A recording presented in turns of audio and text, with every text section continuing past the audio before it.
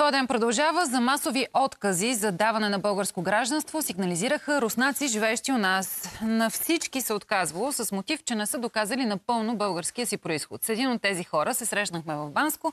Нека да видим репортажа на Антон Чавдаров. Още докато били в Русия, Владимир и семейството му имали планове да се преместят у нас. Я узнал, что мой дедушка българин. Разбрах, че дядо ми е българин и започнах да си варя документи за българския си происход. Дойдох в София, подарох документи в Държавна агенция за българите в чужбина. Там потвърдиха, че имам български корени. Събитията от февруари 2022 година форсирали пристигането на Владимир и семейството му в България. Започна войната между Русия и Украина, решихме, че трябва да си тръгнем веднага. И седмица след като започна, ние си тръгнахме. И тук живеем почти две години, от 20 март. Първата година живяхме в София, работих там като готвач. Дадоха ми постоянно местожителство. После се преместихме тук в Банско. Намерих си работа като инструктор, тъй като съм ски учител от около 10 години. През цялото време Владимир спокойно чакал българското си гражданство, убеден, че проблем няма да има. Вече имал признат български происход и документът, вярвал Владимир, че е формалност. И продължих да чакам българско гражданство, но само преди няколко седмици ми отказаха, без да обясняват причината, без допълнителни проверки, въпреки че агенцията потвърди, че съм българин. Сега Владимир е в недоумение. Първоначално българският му происход е признат, а след това не точно. Всички документи са реални и никакви фалшификати. Знам, че има много фалшиви документи и хората кандидатстват за гражданство с фалшиви документи, но всичко, което имам е истинско. След началото на войната много украинци и руснаци започнаха много да подават документи. И тъй като имат много молби, започнаха да ги отказват. Просто искам да доведа нещата до финал. Владимир разказва, че познава много други руснаци с същия проблем – отказано гражданство. Просто без обяснение за причината. Аз имам право на това гражданство по закон и искам да го получа.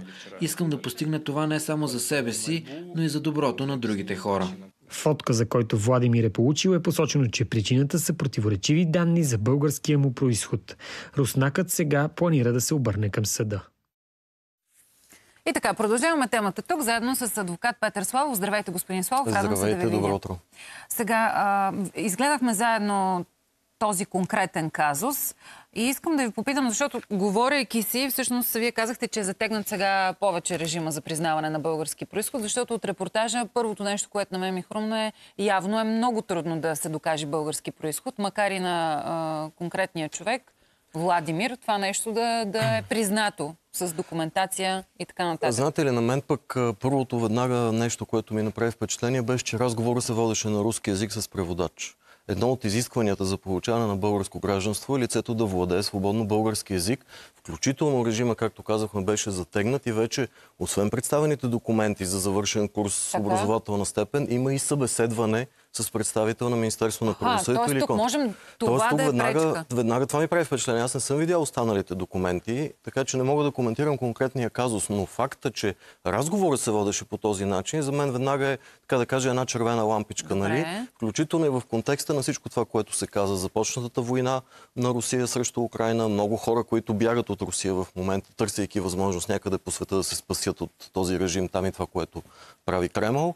Така че не бива да се очудваме, че нараства броя на заявленията, включително най-вероятно ще има и опити за злоупотреби. Не казвам, че конкретният случай е такъв, но мисля, че абсолютно разумно накрая човека каза, ще се обърне към съда да си ангажира адвокат съответно, може да обжава отказа, ако му бъде постановен такъв. Това, което казвате е много интересно, конкретно за, за български язик и за събеседването. Това новост ли е или е част от режима от край време? От край време не бих казал, беше въведено в един определен момент, особено ако си спомняте във връзка с тези скандали за многото фалшиви удостоверение Да, за български да, да. происход, Той когато на един етап цяла схема беше, да. откритата, беше и разследвана. Не знам някой дали понесе отговорност. Да ви кажа честно, Но- е, като журналист ви казвам и аз не знам какво стана. Но, но, да е, но наистина е ключово. Никой В закона, в закона е казано определени области, които някога са били част от българската екзархия, ако лицата са с така происход или са родени на територията на тези области в момента извън пределите на България, че реда е облегчен за тях. Но във всички случаи те трябва да представят документ за български происход, което значи поне един от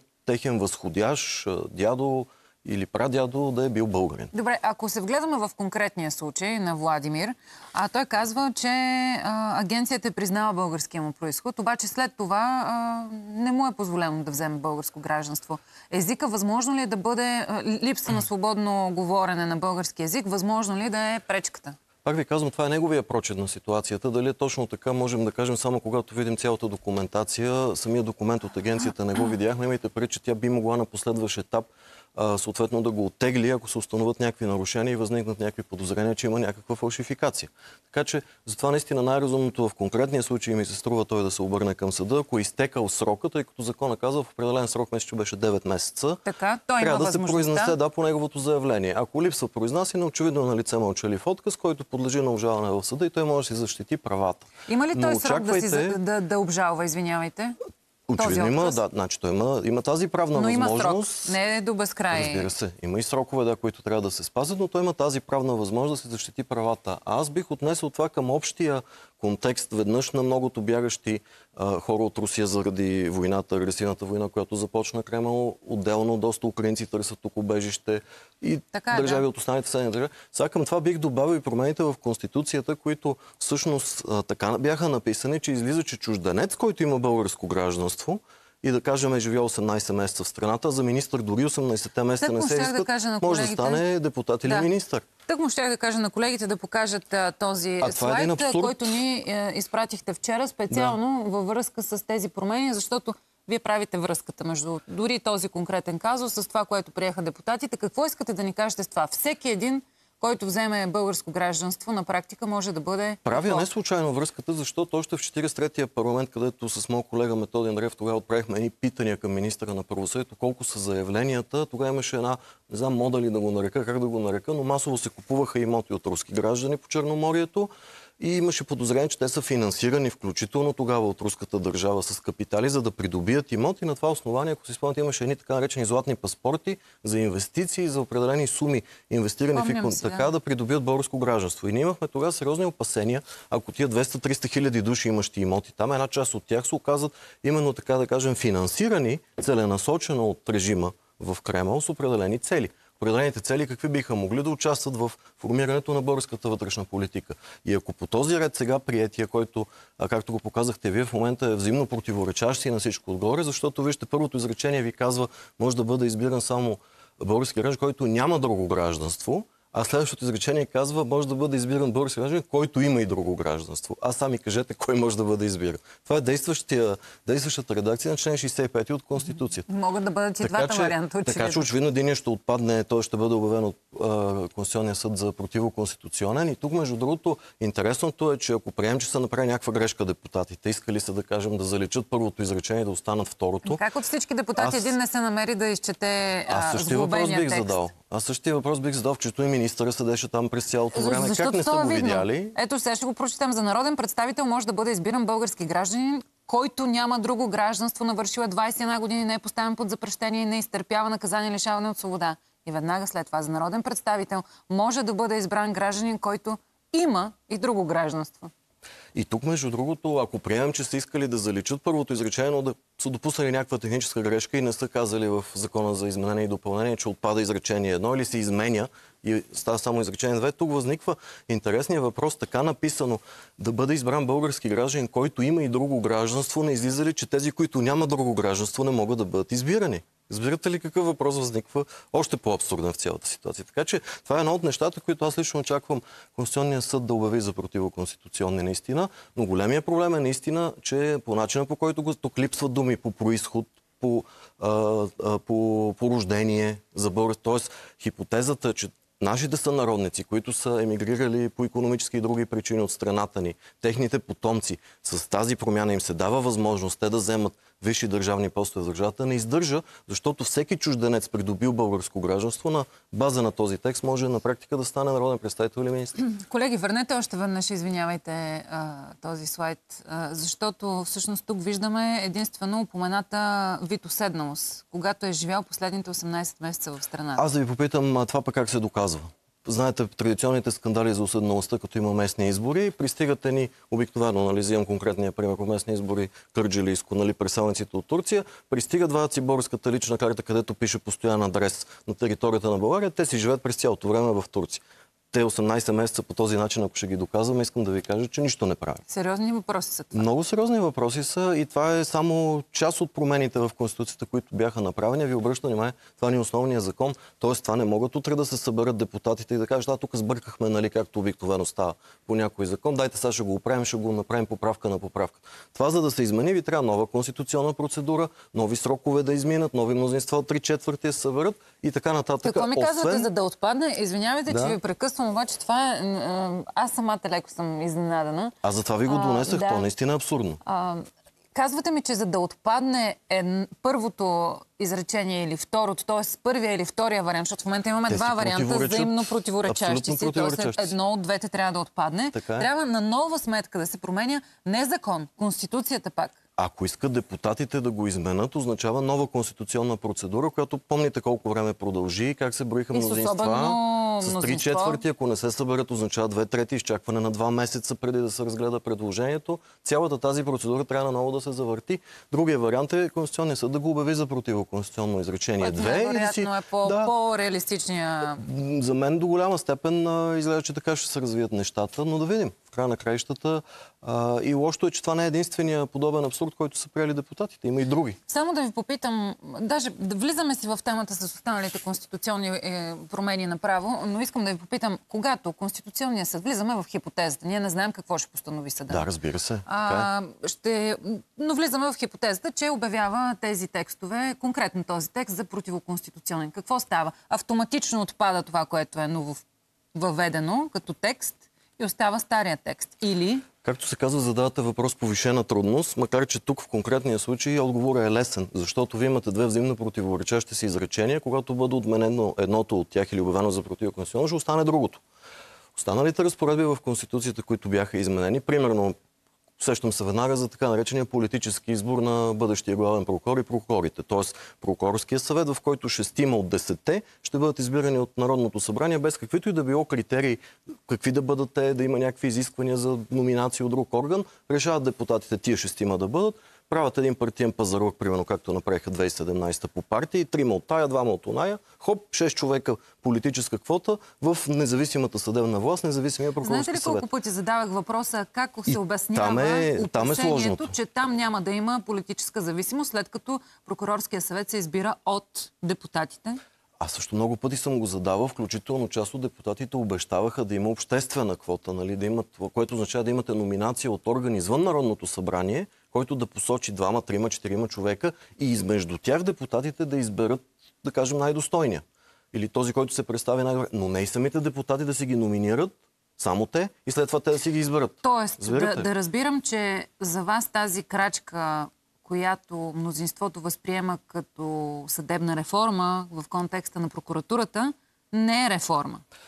Тази част конкретно с избора на шестима от десете, абсолютно по политически принцип е, и признак, за мен е направо антиреформа. И е нещо, между другото, много опасно, защото всички сме се вторачили в съда. Казваме да, създаваме един независим виж съдебен съвет на съдиите, оттам нататък работата на съда ще се подобри. Добре, но кой ще поддържа обвиненията пред съда? Нали? Само прокуратурата може да повдигне обвинение. И когато шестима са избрани от силните политици на деня, Нали, не се заблуждаваме, че някой близък до тях, срещу него наказателното преследване, най-вероятно ще бъде осуетено. Давам ви един пример преди време, ако си спомняте, много неприятен с едно детенце имаше, мисля, че в Трънско, където, ако си спомняте, местният прокурор беше установил, че детето се блъснало в колата Блъснало Да. колата на кмета и си изпукало далата. далак. то И детето е виновно, че се блъснало в колата на кмет. Ето за такива неща говорим. Това са абсолютно недопустими неща. Между другото, аз обърнах внимание на Висшия адвокатски съвет. Тази седмица имахме заседание. Ще направим и ние нашия преглед и на останалите промени в Конституцията, така че е възможно и самия Висш адвокатски съвет да адресира и да сезира Конституционния съд по част от промените, които бяха извършени. Така че мисля, че абсолютно всички текстове, както ги приеха депутатите, отиват на поправителен. Това никога не се е случвало до момента при конституционни изменения. Това е шестото на, на практика. Имало е случаи, да, текст да бъде обявен за противоконституционен, но това е било по-скоро, как да кажем, по-скоро изключение. всички да бъдат пратени на поправителя, не се случва до На финала сме на нашия разговор. Между другото, преди дни тук в студиото ни Антон Станков, бившият правосъден министр, направи една прогноза, че е твърде вероятно Конституционния съд да а, работи доста ускорено и в рамките на месец да имаме вече позиция, с оглед на това, че вече има състав а, по разглеждане и така нататък. Изкушавам се обаче да ви попитам и ще го направя на финала на нашия разговор. Парламентарната квота за конституционните съдии. Имаме Десислава Атанасова, излучена и официално обявена от ГЕРБ. Борислав Белазелков от Продължаваме промяната Демократична България. Как ви изглеждат а, тези кандидатури? И може би по-любопитното за всички нас е а, политическата кандидатура на, на ГЕРБ в лицето на госпожа Десислава Атанасова. Моята основна забележка, аз няма да вляза в персонален коментар на личностите, но Факт е, че има такава в обществото, различни критики се отправят. Това, Не което направиха питам, депутатите да. за пореден път, една непрозрачна процедура. В последния ден бяха издигнати кандидати, без да е ясно защо тези кандидати, защо не други и защо на практика има издигнати рано само двама с шансове да бъдат избрани, нали? тъй като очевидно кандидата за възраждане няма никакви шансове да бъде подкрепен. Тоест, дали пак не говорим... Цвета Рангелова също, да, е кандидата на възраждане. Не говорим да не пак за партиен пазарлък, направен някъде на тъмно, който е вероятно свързан с други разпределения на постове във властта, защото тук може да има една конкурентна процедура, може да има и различни номинации, включително обществения сектор може да издигне качествени кандидати. Само ще ви припомня 2015 година в 43-я парламент така избрахме на практика главния инспектор, инспекторите в инспектората към Висшия съдебен съвет, като месеци наред не можеха да бъдат избрани. Тогава Съюза на съдиите помогна и даде номинации. Сега виждате, че тези органи не предлагат никого. Защо ли? Защото вероятно се досежда, че както се казва, всичко е свирено, пазарока е направен и абсолютно няма никакъв шанс вие да пускате едни качествени конституционали. Защо от университетските преподаватели не бе поканен някой, които им пренаписаха на практика до голяма степен промените в Конституцията, ако си спомняте така наречен обществен съвет към Конституционната комисия. Ми, че те им пренаписаха голяма част от текстовете и ако си спомняте, те са, те са силно видоизменени спрямо първоначалния вариант, който беше внесен. Защо някого от тях не поканиха хора, които всички познаваме и които бяха очевидно безспорни експерти, след като са ги поканили депутатите и след това им ползват нали, Въпрос написаното. за отворен отговор, както се да казва. ви кажа, за мен е абсолютно затворен, затворен и, и отговор е и политически, може. политически И така може да го само. кажете. Благодаря ви много, адвокат Славов, за това гостуване. Те първа ще видим какъв ще е развоя на събитията и по отношение на конституционните съди от парламентарната квота, но и по отношение на решението на Конституционния съд, именно по тези промени, които направиха депутатите. А не забравяйте, там дни. си оттеглиха предложението за мнозинство от две трети за избор на конституционните съди. Остана обикновено мнозинство, защото имаш предложение да се избира с две трети. Ще ви поканим отново. Така че...